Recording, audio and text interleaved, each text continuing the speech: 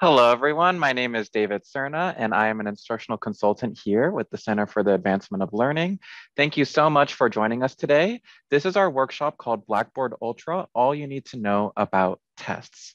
I'm also joined by my colleagues Fatma and Julian, also from the Cal team. So let's go over some of our goals for today. Really, our session goal is digging deeper into Blackboard tests. So you may have those foundational skills, really how to create a test, but let's dive a little bit deeper on how to really make them effective with some tips and considerations.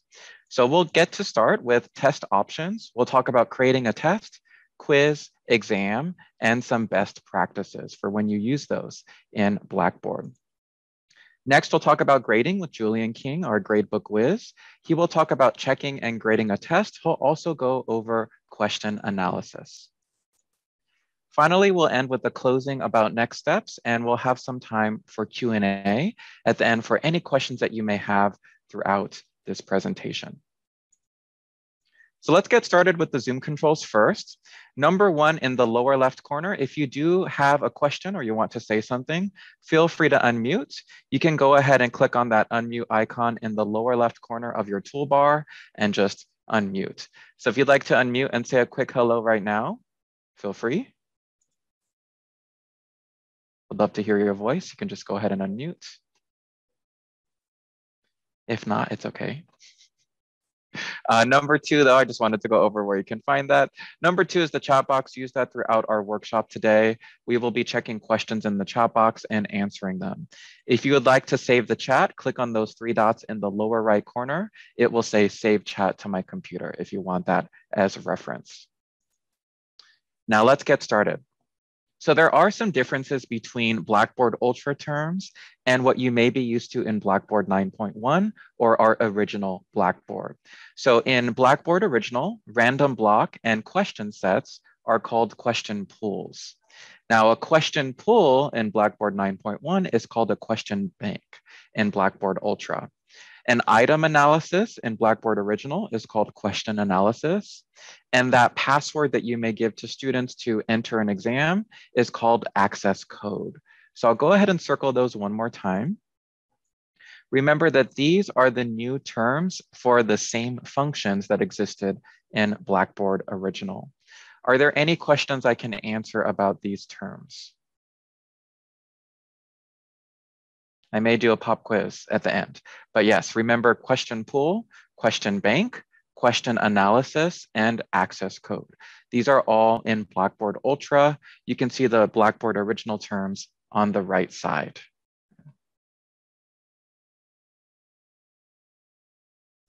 Now let's go over creating a test and a walkthrough. So I'm going to cover in this section how to create a test or an examination, building and adding those test questions within, applying test settings. I'll go over the different tools and the test settings there, availability, including conditional availability for our students. And then one of the big questions that we get here at Cal is how to import and export. So I will go over first how to import and export from original to ultra. So if you have an older course, how to use those same test questions and examination questions in ultra, as well as how to copy content easily from ultra to ultra. So let me go ahead and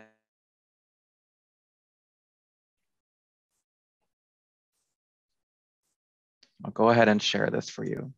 So first, let's talk about creating a test.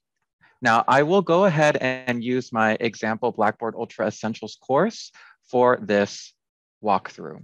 So as you can see, this is the Blackboard Ultra Essentials course I'm using for this walkthrough. If I do want to create an exam or test, I can go ahead and click on the plus sign and create.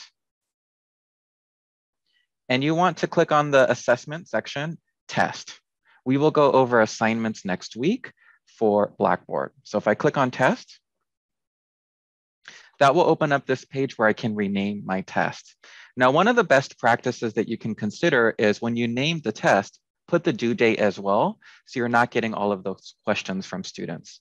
So for example, I can go over chapter one quiz, do Monday, 11-8 at 12 p.m. So that way they know that is the due date for this exam.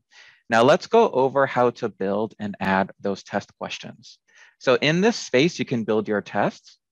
So if I want to build this from scratch, let's say I choose a multiple choice question for this. And let's do something easy. What is two plus two? And then I can put the answers one, two, four, three, and four.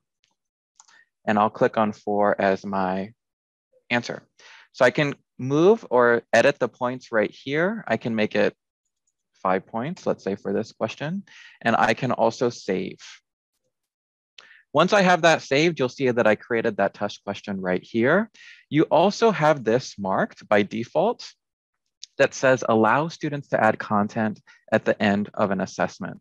So say that you're asking them to submit something further, they can go ahead and submit that additional content right here in this box with that student preview.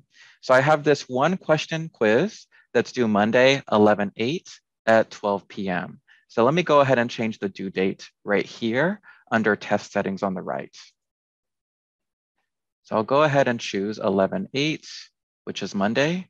And then one of the things is make sure that you're choosing the correct time. I'll put 12 p.m. for this one, not 12 a.m. Allowing class conversations, that means that students are able to ask you questions about the exam. So let's say that something's not working, they can have this little discussion forum to ask questions. You can also randomize the questions and randomize the answers. So the multiple choice will not always appear in the same order. Collect submissions offline because this is an assessment questions. I cannot do that. I have a grade category right here. I will do that as a test. And attempts allowed, I will, I will say two for this one. Grade using points. And these are all the different grading categories. And Julian will go over those in just a bit as well if you have any questions.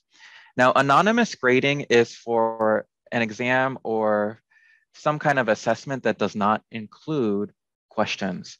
If you do have any questions about this, please feel free to email us and we can set up an individual consultation with our office hours for that. There's also other evaluation options, two graders per student, as well as peer review. Now I want to scroll down for additional tools. Now right here, I can add a, add a time limit. So I have 60 minutes right here. And I can also enable SafeAssign if it is a written examination, for example. One more thing, we have lockdown browser dashboard. If you have not set this up, we did a recent workshop on Respondus lockdown browser, but you can click right here. That will walk you through step-by-step -step on how to set this up for either AI, automatic proctoring, or live proctoring. I'll go ahead and click on save. Now, as you can see, let me choose the due date is the 8th, not the 7th. Okay, and then I'll go ahead and save that. So as a best practice, I have written in the title that due date for the examination, as well as the due date is correct on the side of the screen. Now, if I look right here, hidden from students, I can make this visible to students. So right away, they'll be able to see this test and they have until the 8th to finish that. But if I want to set release conditions, I can do that as well.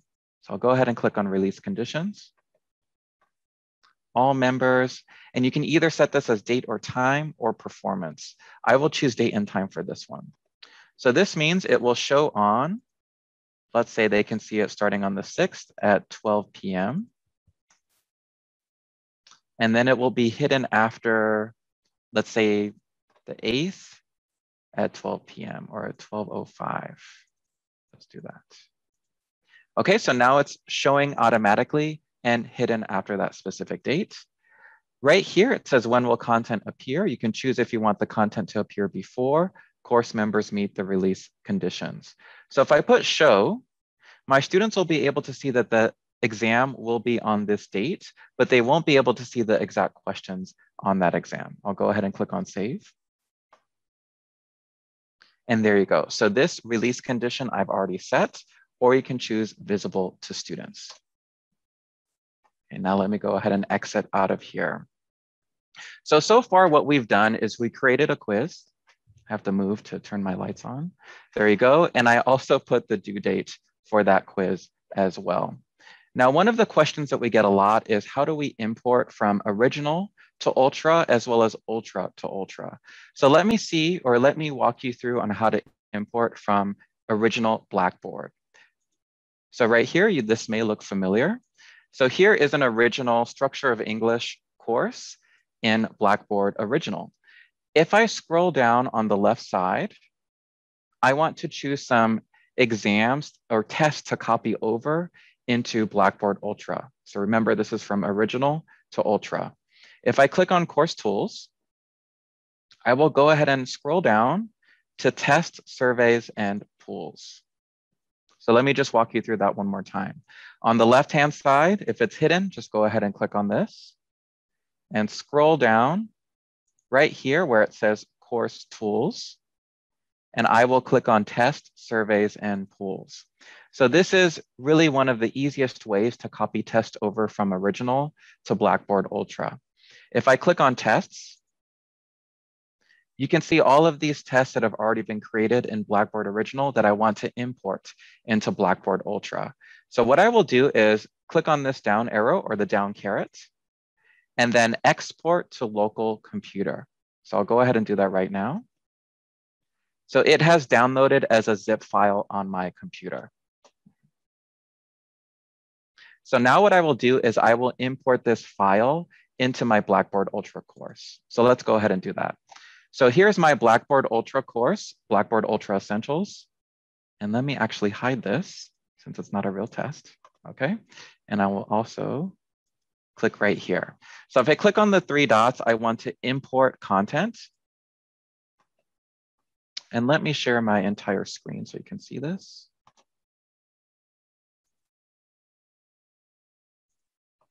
Okay, so when I click on import course content, I will click right here. And we see right here under my downloads, the test export file that I just did. Let me go ahead and open that. And it will upload this test file from my original course into Blackboard Ultra. It does take a few minutes, so let's see. And once that is finished, that test from my previous original course will import directly into here. So while we wait, are there any questions I can answer from the group? Or anything I can show again? Yes, I have a question. Yes. This is um, Professor Paris. Yes, hi, um, Dr. Paris. Hi. Um, my question is, when it imports and when it finishes the import con course content, does it go to its relevant place? Like, for instance, will tests go into tests and will, do you understand my question? Where, where will you find it in, our you know, you go and you import the information. I understand that. But where will it go? Will it go to where, you know, will it match up sort of? So it won't. So let me show you. That's a great question. So Dr. Paris, if you look here, so it finished it finished importing that test from my original course. So you have to scroll down with Blackboard Ultra. And do you see where it says undeployed tests? Yes. So if I click on that, then I can see that this final exam has imported. Let me click on that. So you can see that this final exam has imported. It looks, it looks like it imported correctly. So what you can do then is you can move this into the module or the folder where you want to move it. But when you import the test, it'll always be at that bottom part where it says undeployed tests. Okay. Yeah. That was a great question. Thank you, Dr. Paris. Okay. I, I have, um, this is procedure-wise. Yes. Are you going to have a, a, a, period at the end for questions? Because I'm not, I have a few questions, but I'm not sure where they fit into your presentation. That particular one fit in. Yes. but um, I, I don't want to you know, lead you, you know, I don't want you to jump ahead or jump back or whatever. So if there's going to be an answer and question, a question and answer session, I'll wait. Yeah, that's perfect. I'm glad you brought that up. So we'll have some time at the very end for extended questions. But as we go section by section, the next section that we will do is about question types. If you have any questions after we do the live walkthrough, we can answer those for that topic. Thank you, Dr. Thank Harris. You. Mm -hmm. Thank You're welcome. So I just showed you right now how to import and export from original to ultra. Let's go over how to do it from ultra to ultra.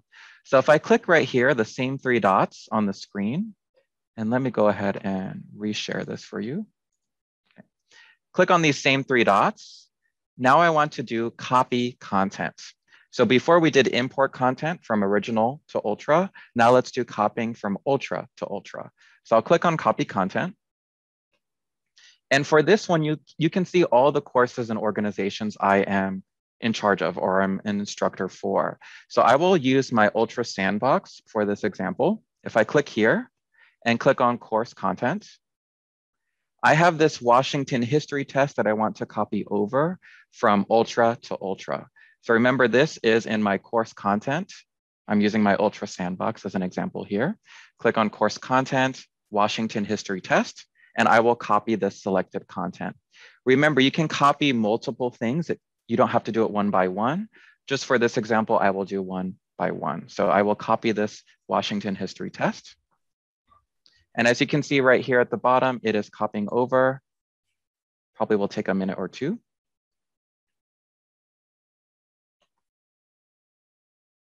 But once this is finished, you will also see this test copied over from Ultra to Ultra.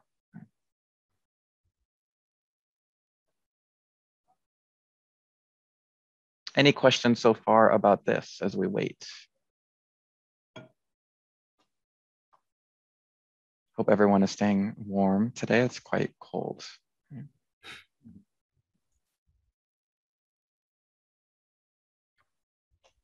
But once this finishes copying over from Ultra to Ultra, you'll see that content and that quiz saved right here.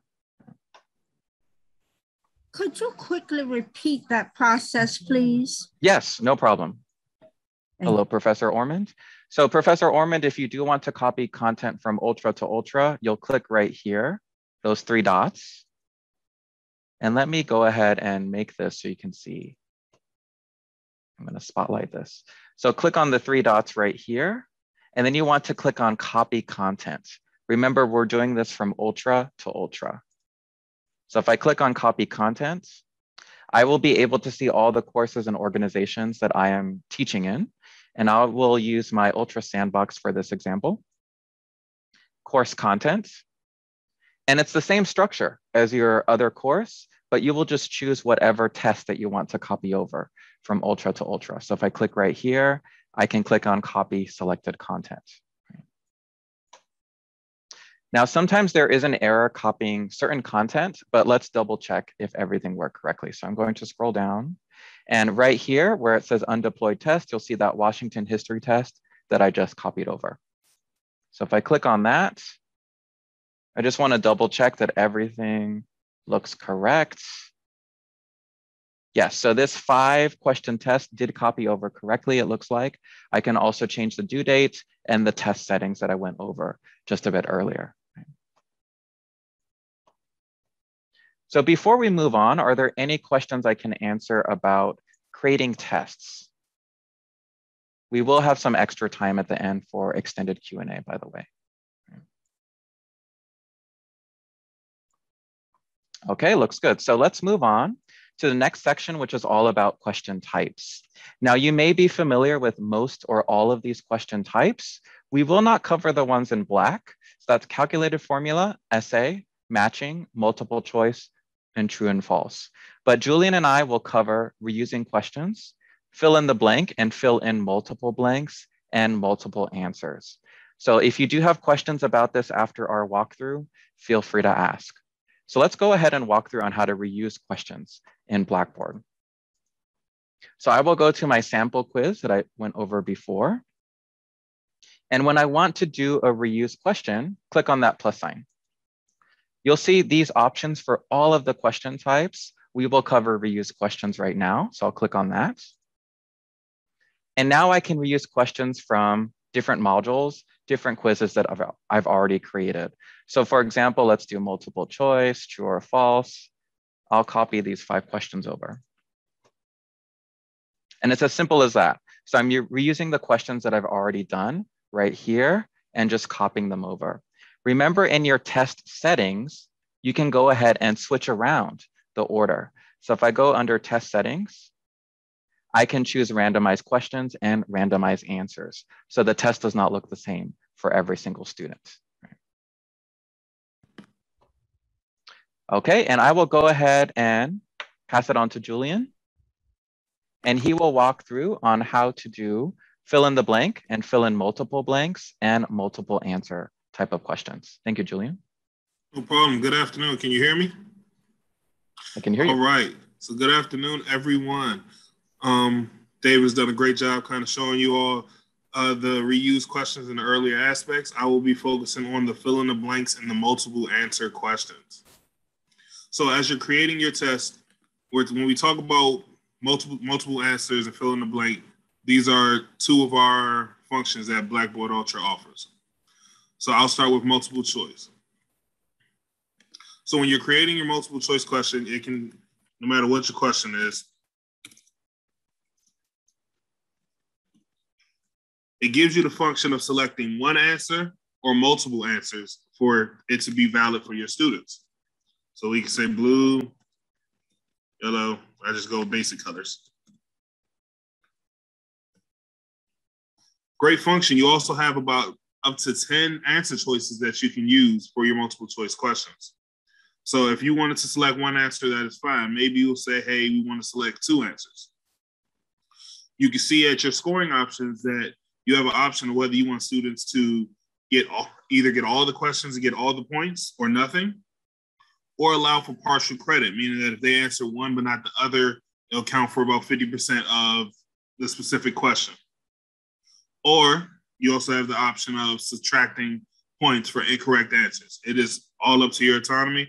I always say allow partial credit um, because that also gives you definitive data about that can drive your instruction and things that you may need to come back on and revisit for your course. So once you've selected your ans- one answer or multiple answers that will be correct, we will go ahead and save that question as well. And that is our multiple choice uh, and or multiple answer type of question. Now I'll be moving on to our fill in the blank. So as always, we click our plus sign and click add fill in the blank question. Now the fill in the blank is interesting because you essentially are inserting the answers as you're creating your question. So if you're coming up coming up with a, a question similar to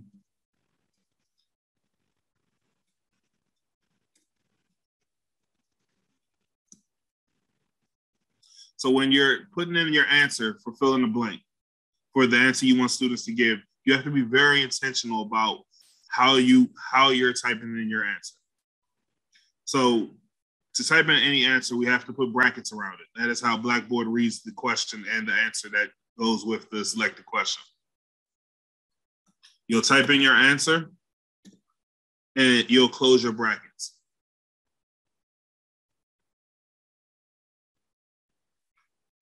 So if you notice, after I've done this, it still won't let me save because it had you have a couple steps that you have to do to complete this create complete the creation of this question. Excuse me.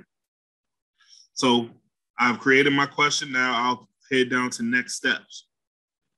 And this is why I say you have to be intentional with your answer because it gives you a couple different options for what you would like to select. Whether you want students' response to be an exact match of what our answer is, whether it contains a match or maybe matches a pattern. For learning purposes, I will say either contain a match or exact match would be your two best options. And then, like we said, being intentional. Is it something that is case sensitive? For certain courses, we understand things may be proper nouns or people. So you have to also delegate whether that's something you want to include as well.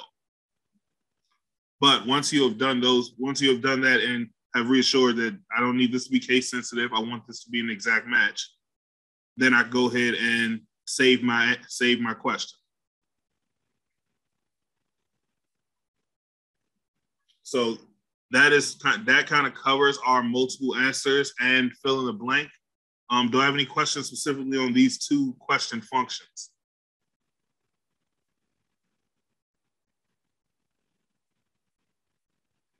All right, thank you. So next we'll next we'll move on. Excuse me, my voice is kind of going in and out today. Next we'll move on to grading. So what does it look like when my students submit the test? How does that look on my end? So we'll get out of here. and I have one already queued up for us. Excuse me, got to move my Zoom box. So I see I have a submission when I click on my test that I've already administered. I'll go ahead and click on my submission. Now, this test was fill in the blank and multiple answers. So Blackboard automatically graded it for me. But what if I want to go, I want to go back through, see what how my students did. So I'll click on the students complete. Excuse me, moving Zoom box again. So now I see what my students' test submission looks like. And this is why we talk about that partial credit. That I created a fill in the blank question. And if the answers aren't exactly where they need to be fill in the blanks, they will be marked as wrong. So if you notice, my answers still match, but they're not in the exact places. If they're not in the exact places, they will be marked as wrong answers. So you will only receive, your students will only receive partial credit. And it even shows you with the green and red line. The red line indicates that the student answered these questions wrong. This was a student response. The green line indicates that this question that this answer was placed in the right place and it's the correct answer. and that is for my fill in the blank question. I also I also administered a multiple answer question. I wanted to see what that would look like. So here's my question, multiple answer. As you can note, my correct answers are here. The student selected one correct answer and one incorrect answer. So you notice it still gives that partial credit because there are three three possible answers. One out of three is 0.3.33%. And it indicates which it indicates which ones are the correct answers and where your student selected the incorrect answer.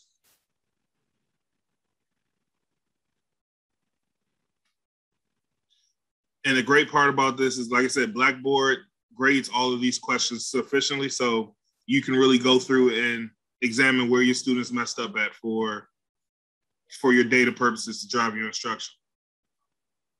So as we kind of shift towards that, so now that I see how my student has done, now I want to I want to give feedback. I, I have to give feedback to my student to allow them to know how they where they need to grow at.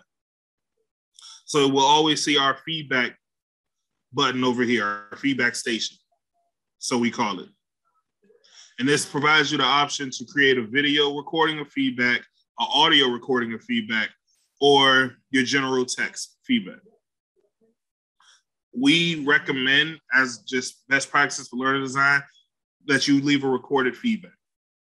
I think recorded feedback just it engages your students more. It, it really it really deepens their deepens their learning and kind of connects you more on a personal level for your students, which is what we all strive to do. So to access that, we want to click on our insert content button over here on the right. When we click on our insert content button, you see it offers you multiple formats of, of things you can add. You can add an attachment if you already have a Word document. But to do our audio or visual recording, we want to come down here to recording. And when you click on that, if you can still see my screen, my camera will not be able to open up, but my audio is, and it gives me the opportunity to start recording and leave a select recording for feedback for students. Once again, moving Zoom box. Once I've completed that recording, I'll make sure to click save so that it attaches to our necessary document. So um, while I'm here, do I have any questions about how that test submission looks for these specific questions, how to administer feedback, whether it's text, video, or audio. Um, do I have any questions about any of those uh, specific content at this moment? Uh, Mr. Julian, I, I I'm, I'm sorry. Oh, go ahead. I was wondering that uh, uh, for this, you know, the feedback we can do, we can send it to indi- uh, for individual student or for the whole class. Am I right? Yeah, so when we're so when we're talking about this specific feedback, this is for the individual student. Okay, okay. Okay. All right. I have a question concerning grades and stuff, but I, I don't know if this is the appropriate place. Okay, uh, let me ask it and then you can push me later or yeah, answer. I, I, absolutely. Feel free to ask. Okay, thank you. I appreciate it. Students are not seeing their grades, though indicating that they completed the quiz. So that's, I, I'm having a problem with the grade book in that sense. I don't know if this fits in at this point in time or not. So um, I'm kind of the gradebook specialist here. So after this session, um, if you wouldn't mind sending me an email and we can we can have a consultation and I can kind of work with work with you through some of those issues that you're having with the gradebook so we can resolve that You, immediately. pro- you, you promise me? I promise you, you you have my word. So- okay. So please just send me an email and I know after this session, um, within this week, I can meet with you and we can resolve Oh, now issues. now you moved it to within this week. It's all right. We we we will get up, but no, We'll- absolutely. We'll, Just- we'll get to it. Okay, I appreciate it, sir. No problem. Just send me an email. Thank you. Um, so moving forward from this next part, we're talking about student. Well, let me fit, add one more piece to this before um before I get to student accommodations. So when you're creating a test, and this is I, I kind of missed out on this, but just the way it's structured, it kind of this is where it hit me. Um, when you're creating a test for students, and I come back to this test that I created you have an option at the bottom that allows students to add additional content, whether it's text, images, files that may be related, may not be related for this function, may not be related. It is up to you. Now, this function is automatically by default, it's always on. And I think it's a great function if students struggle through a test or have any notes about the test that they want to leave for you. This is a great place for them to add those notes. So just best practice, we just we just advise that we would leave this section on, just so your students, if they have any feedback or any additional comments about the quiz or assessment, they have an option to leave those for you. And that is always going to be at the bottom of your exam. You can't type in it when you're creating the test, but when students finish a test or they get to the bottom of it, they will see this box where they can add that additional content.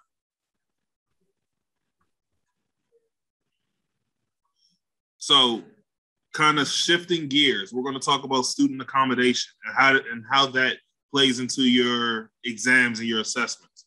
So, you can reach your student accommodation in two areas. You can find it in your gradebook, under your student list, or under your roster. I will walk you through both way both places of finding. We'll start at our roster because I'm already on the page. So when I click on my student roster, I can find a specific student. I'll choose Fatma's face. Um, and when you click the ellipsis beside the student, you'll see accommodations. If we go ahead and click on accommodations, the two accommodations right now that Blackboard Ultra currently support is a due date accommodation and your time limit accommodation. So if I give, if I'm giving an assessment that is 60 minutes, but I know that certain students need more time on these assessments, I can go ahead and click on that time limit accommodation. And I can choose to give them 50% extra time, which would be 30 minutes based on 60 minute quiz, 100% extra time, which would be two hours in the 60 minute scale, or unlimited time. You know, this is kind of based on your accommodations. We can't tell you which ones to select, um, but just be diligent with the students that need accommodation and how you're going to accommodate them as far as the time limit. Also, when you talk about due date, this allows students to never have their work marked late. So for certain students that just may need more additional time in general, outside of the time limit, when you click this, when you click that due date accommodation, instead of it providing maybe an automatic zero, like some great, like some assignments do in the grade book, or having it come up red as student completed it late, it will not do that for this specific student. And once again, these are these are just accommodations that we can't tell you which ones specifically use. You kind of have to do that based on the accommodations of your own specific students.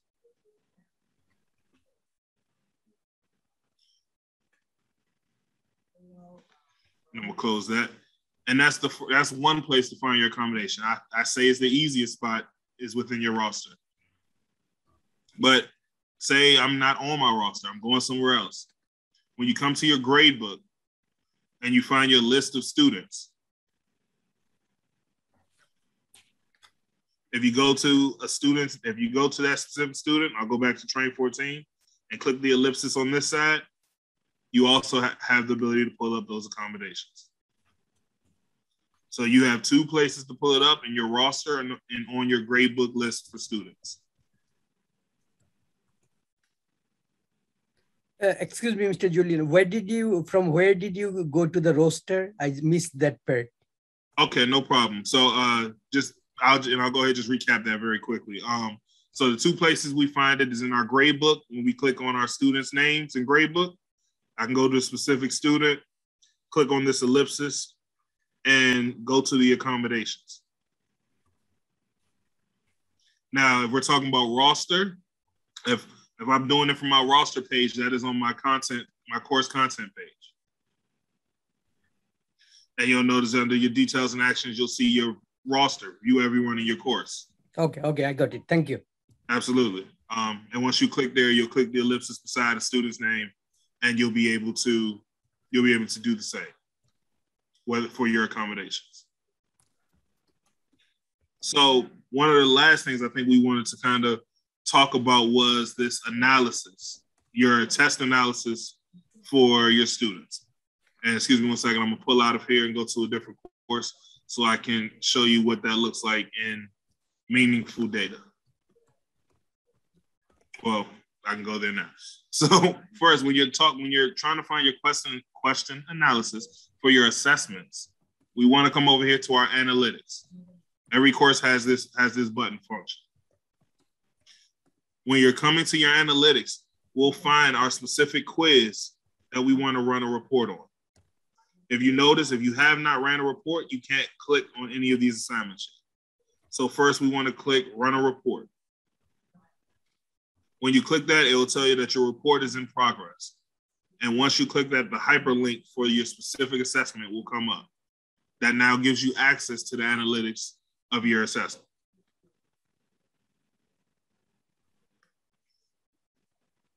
So if I go ahead and click on this, it this provides me a couple different aspects of data that are very useful and some that we're still trying to tweak to figure out the best use for it.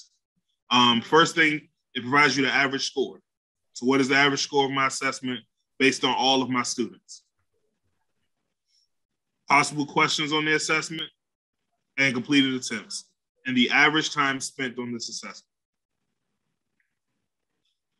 So I think this is also valuable when you're talking about providing those 60 minute quizzes and you want to know, hey, did everybody take the full allotted time? Did people, excuse me, did people take 30 minutes, 40 minutes? Those are things to consider. Under that, you want, I think another big aspect of that is the difficulty. And that indicates the percentage of students who answered your questions correctly. So some some questions may seem easy because everybody got them right. That's not necessarily a bad thing. We're just, that's just how the system is reading it is that, okay, 100% of these students got this question correct. So by chance, this may seem like an easy question in terms of difficulty versus questions that less students got correct may go to medium and then hard based on the percentages.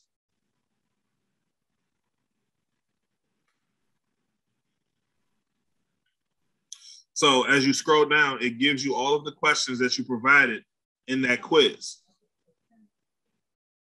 And if you notice, it also still adds the difficulty, your graded attempts, the type of question it is, and whether it needs review.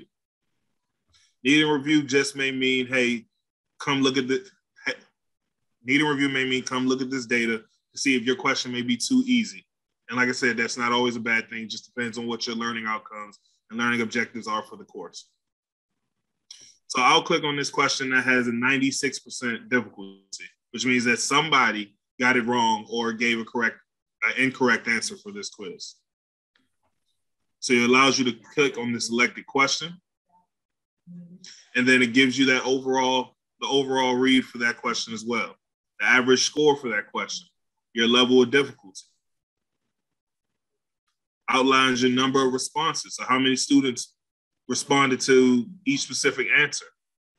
You see, this is where we find that 96% difficulty. Somebody selected an incorrect answer. So I think I think the analytics piece is great when you're looking at specific data. to drive your instruction when you're talking about specific data to see how your students did. What concepts do you think they got based on the questions?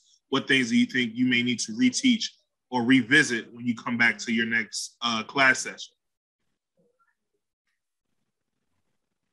And it gives you the option to go ahead and scroll through all of your questions, whether it's by the sidebar or our top piece up here.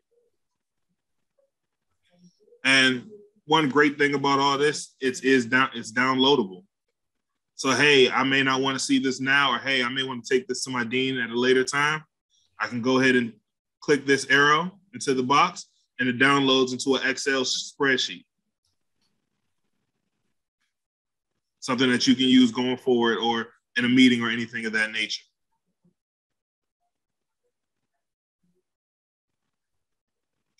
And I think I think we have pretty much covered our analytics piece.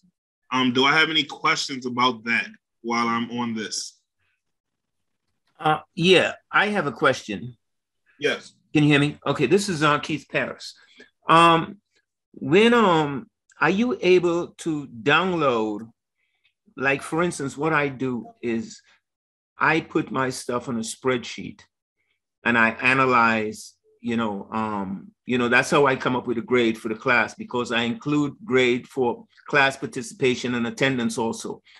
Am I able to download? I, I know in Blackboard, the original Blackboard, I was able to, but can I download specific quiz information onto like a spreadsheet? What I, what I mean is I want all my, my students and their scores on a particular quiz on a spreadsheet.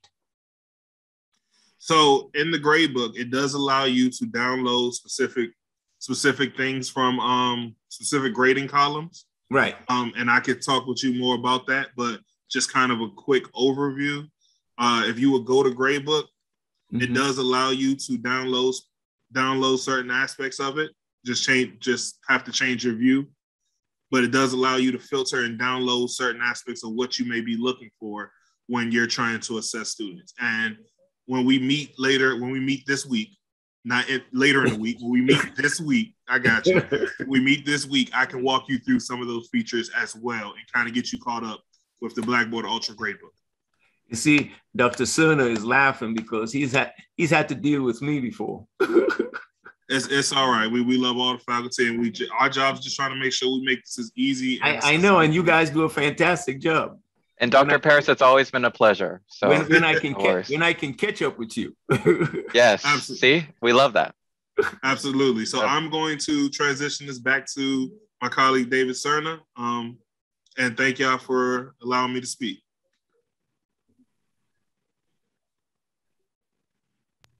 And thank you so much, Julian. That was great. Uh, Julian is definitely our gradebook whiz. So I have put his information in the chat box. It's julian.king at udc.edu. Now, before we conclude our presentation today, just some considerations for you as you work more with Blackboard tests. Number one, you can add test questions to pools for easy reuse and expansion. That can save a lot of time. I'll go over quickly how to create that test pool in a test. You can also create tests from question pools from a textbook publisher. So what I mean by that is if you have a specific textbook publisher that you're using, you're able to download a test bank from them. So a series of test questions, and then you can upload those into Blackboard. So I don't have a specific test bank available for myself, but I can show you how to do this. So if you're on your Blackboard website, let me just share my screen for this. You can go ahead and see in the lower left corner, it says manage banks. And then this is where you can import test banks, let's say from a publisher. I can go ahead and click on the plus sign in the right corner.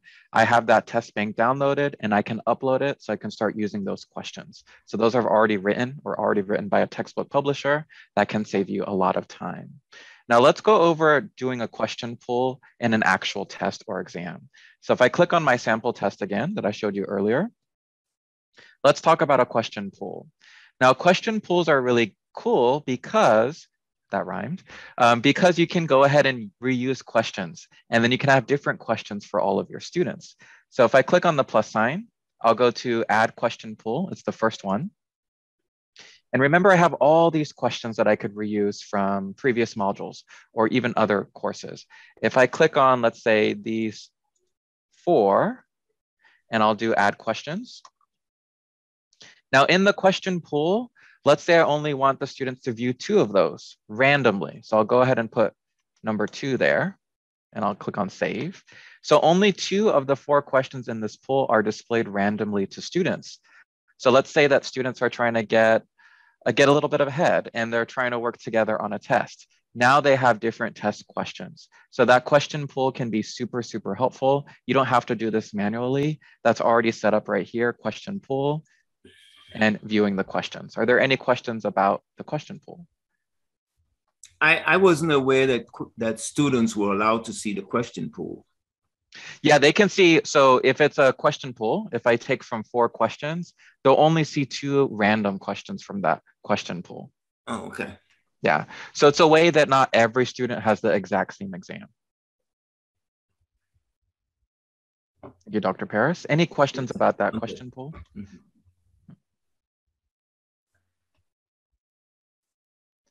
Excellent. So next steps, um, we just want to do a quick poll in the chat box.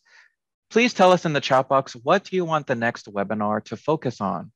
It could be anything about Blackboard, Blackboard tests, but just let us know in that chat box. It'll give us a good idea of what to do for next time.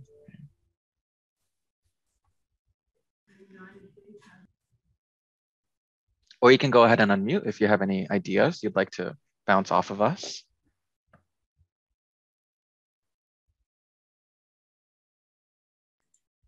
Yes, when mm-hmm. you are given a final and you want to do lockdown, I, I would like for someone to review that maybe on one of the one of your uh, webinars.